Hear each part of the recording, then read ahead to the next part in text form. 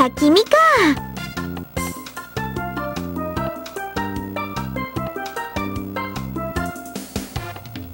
いて悪かったわね。私だって本当はあ何でもないない。ごめんね緑。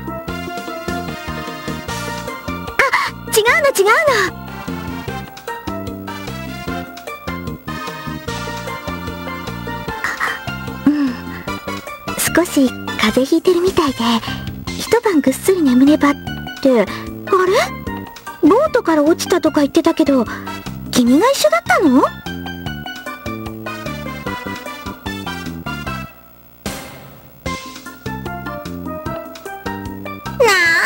だ。それならそうとはっきり言いなさいって。みどりちゃんに野暮なことさせないでよもう。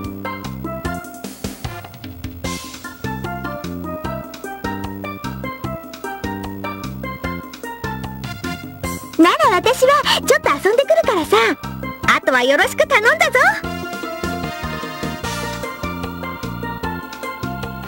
じゃあ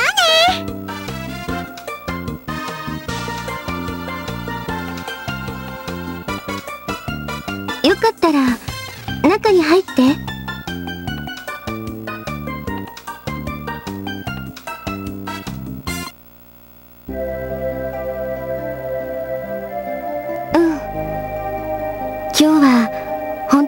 なさいね。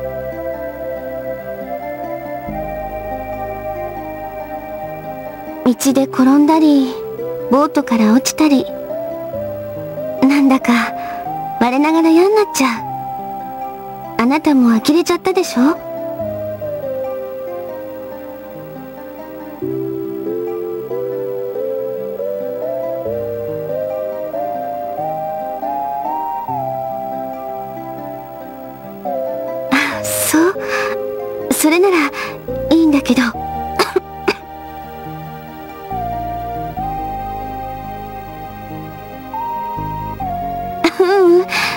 しないで。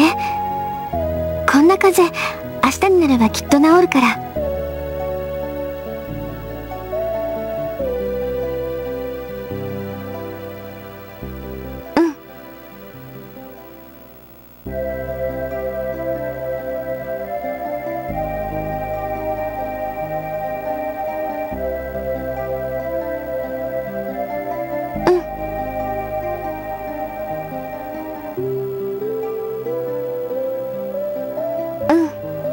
ありがとう。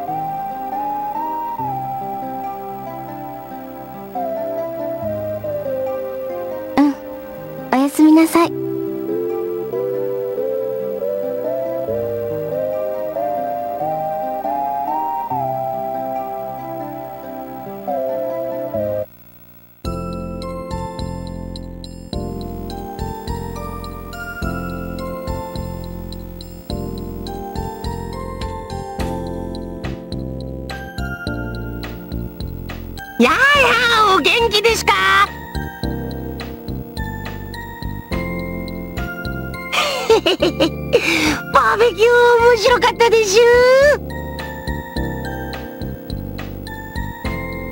ああ生きててよかったでしゅ誠さんの手料理が食べられたでしゅ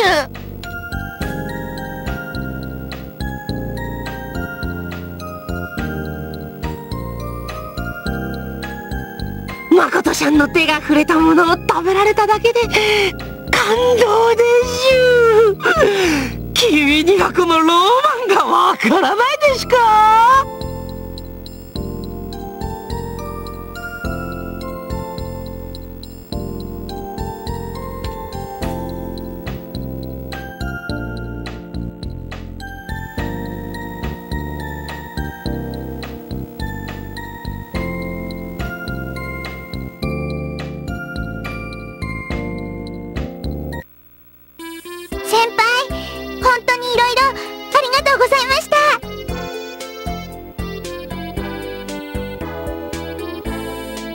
から先まだまだ大変なことがいっぱいありそうですけど。でもとりあえず今日はとってもいい日でしたから明日も今日と同じようにいい日になるってかな子信じてるんです。は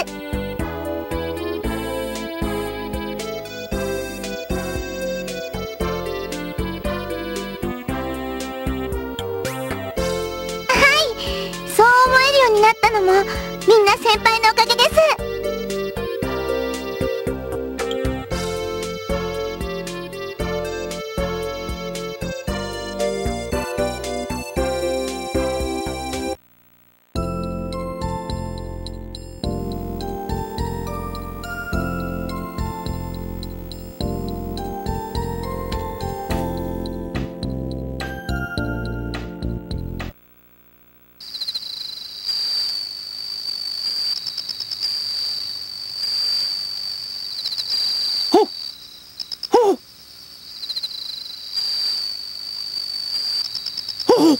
が綺麗だな。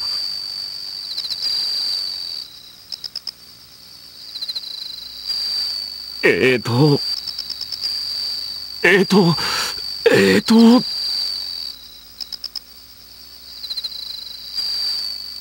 おいいところに来てくれたな。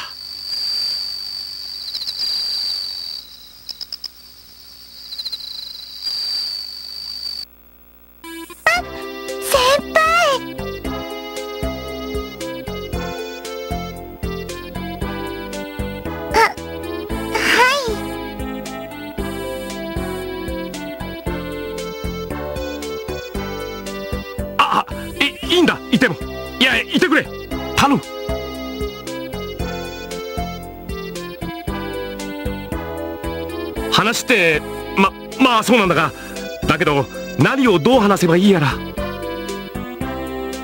なに意識しないでください。かな子はただ竜介先輩と一緒にいられるだけでいいんですから。あ行っちゃっ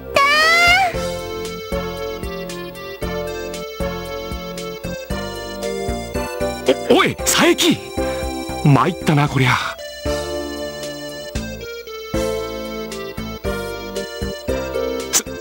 す、まん。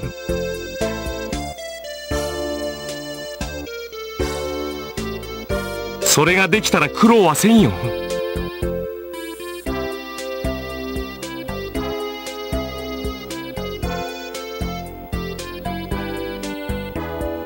そ、そうかな。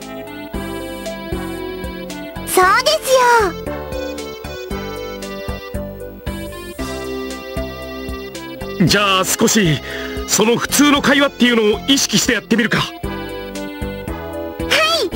そういう意気込みが大切だと思います。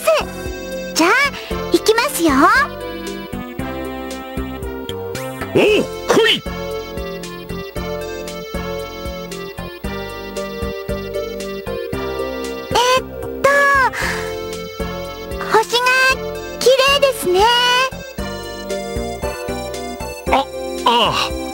本当に綺麗だな。星が。うん。本当に星がいっぱいで綺麗です。おお。本当に星がいっぱいだな。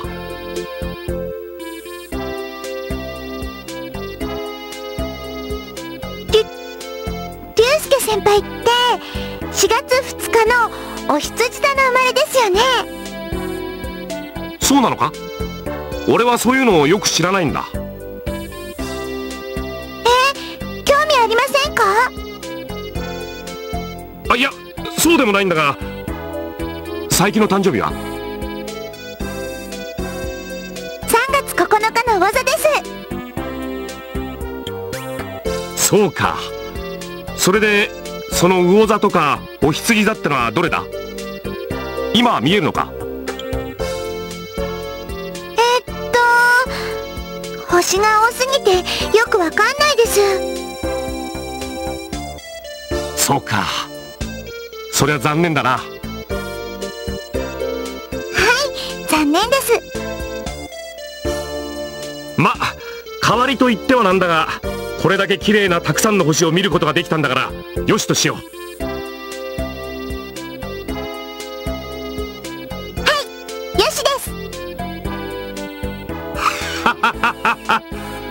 れにしても本当にここは星がよく見えるな。はいとっても。アンドロメダ星雲はどこにあるんだ？アンドロメダですか？そうだ。俺は星の名前なんてアンドロメダと北斗七星と M78 星雲くらいしか知らんしな。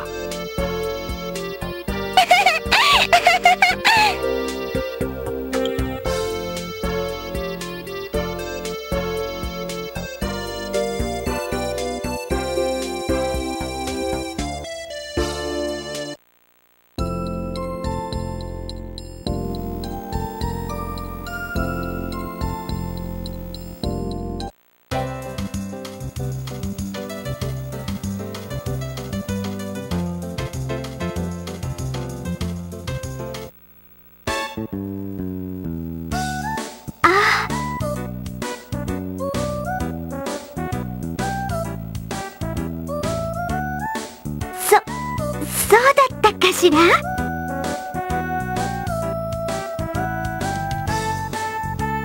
ううん。実はこの近くの町にすごく大きなアウトレットセンターがオープンしたって聞いてちょっと買い物に行ってたの。う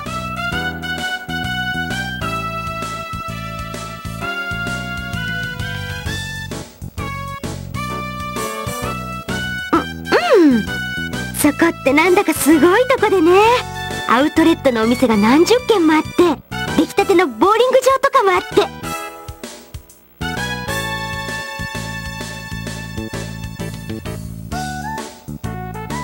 べ別に不自由に誘われたから行ったわけじゃないのよ。ただ前からちょっと行ってみたいなって思ってて。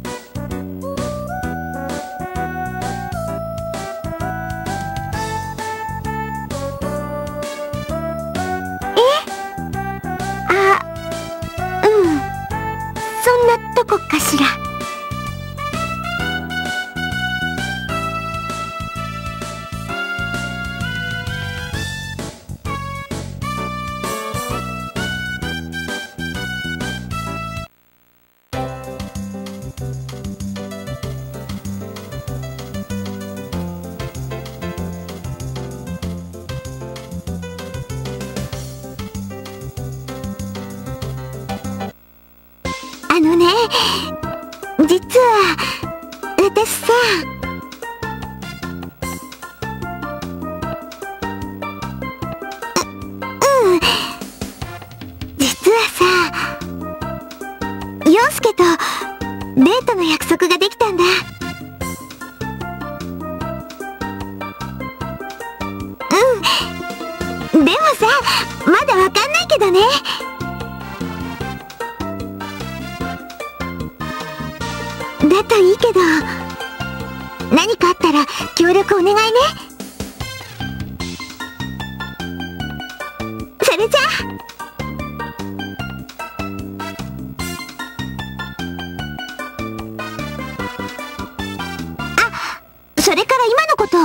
他のみんなには内緒だからね。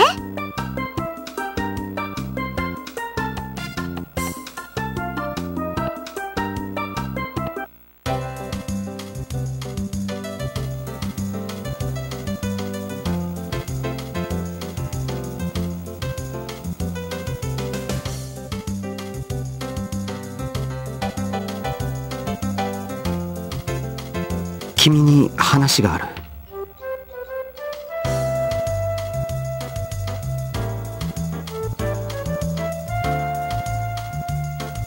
そんな話をしているんじゃない。いいから黙って僕の話を聞いてくれ。僕は小早川さんのことが好きだ。ずっと中学の時からずっとだ。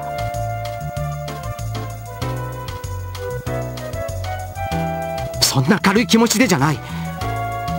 君は今でも彼女に憧れているようだが僕は思い出の中の彼女ではなく現実の彼女を愛しているんだ。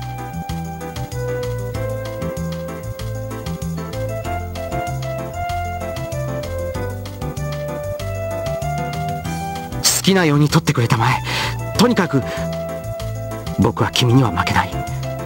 彼女のためにも絶対に負けてはいけないんだ。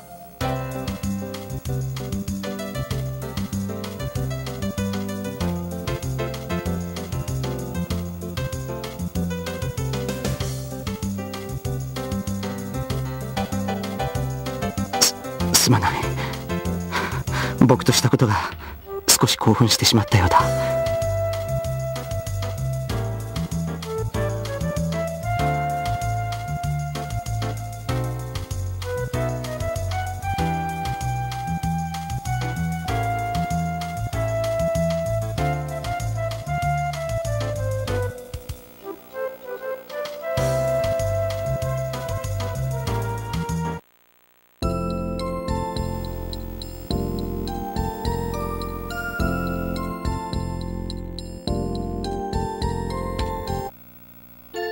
何かよ。私今さ超ムカつき状態なんだよね。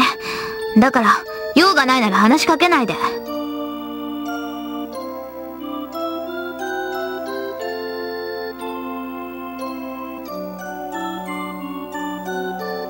ええ私に怒られるようなこと何かしたわけ？全然気づかなかったけど。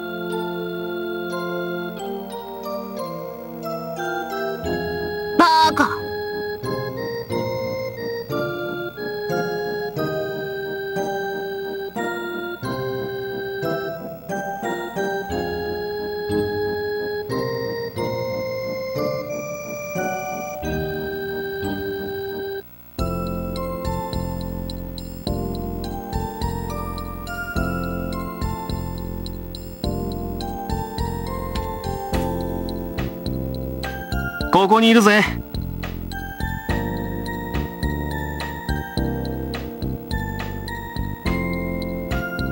んなもの恒例にした覚えはないぜ。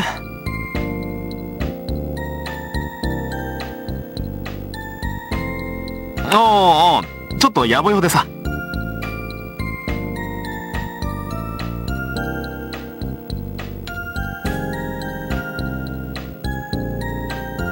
遅くなっからさ。悪いけど先に休んでてくれよ。じゃあ行ってくんな。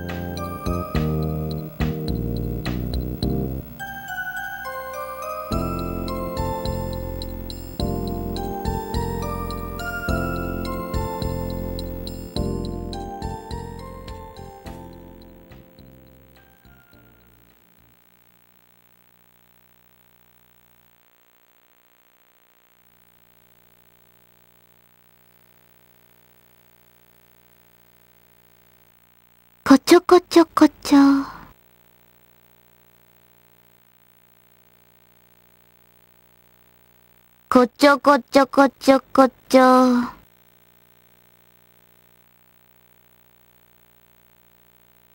こちょこちょこちょこちょこちょこちょこちょ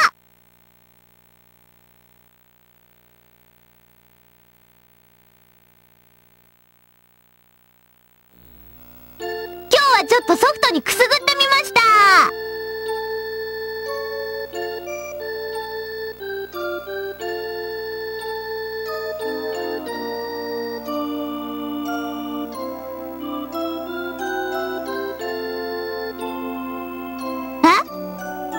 そんな分かりきったこと聞くの？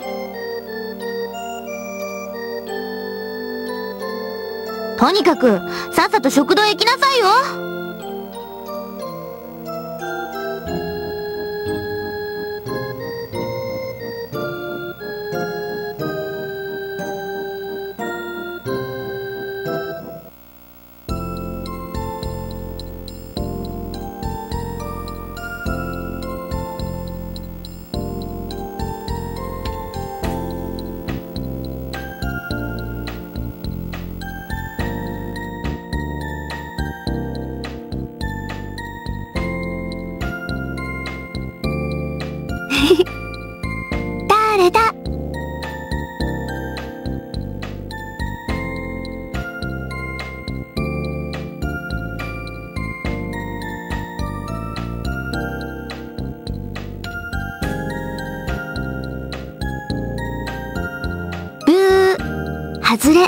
私みずほよ。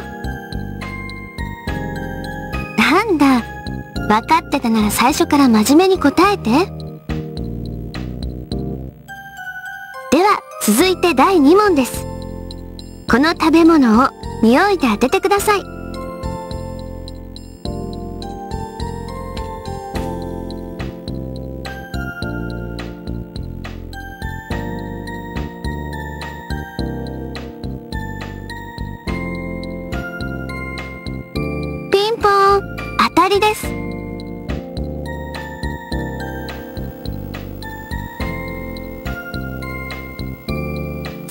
し上がれ。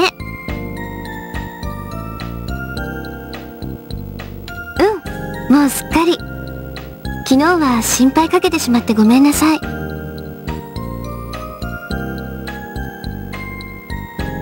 ありがとう。それでこの納豆は私からの感謝の気持ち。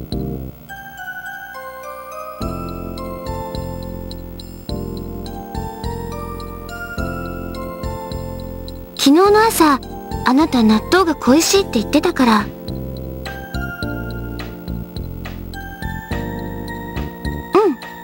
独り言でそう言ってたわ。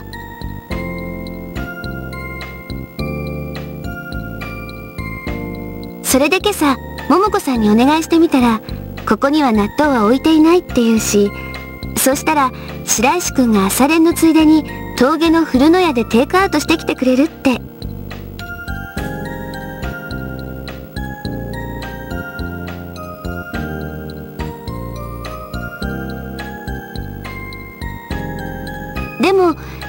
刻んだり混ぜたりしたのは私なのよ。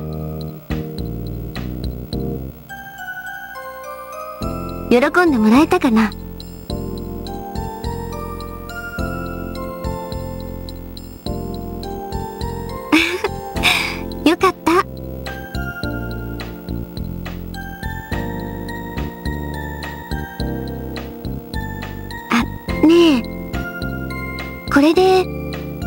機嫌を直してもらえるなら。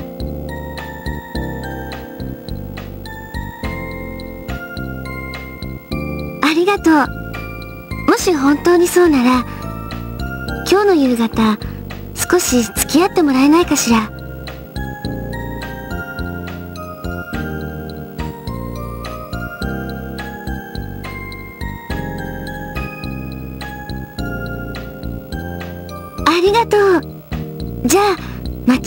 場所は午後の5時に遊歩道でどうかしら。じゃあ私は時間までゆっくり休んでるわね。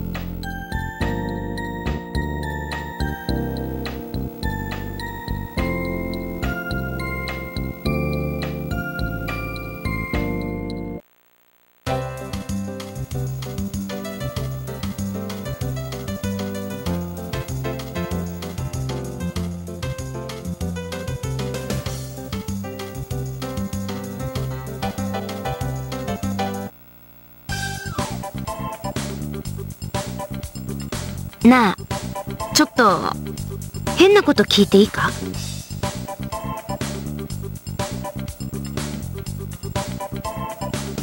遠藤ってさみずほのことが好きなんじゃなかったのか？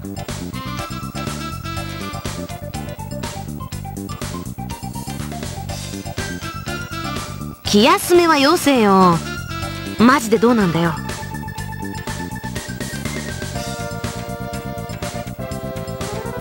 だよな。じゃああれは一体どういうことなんだ？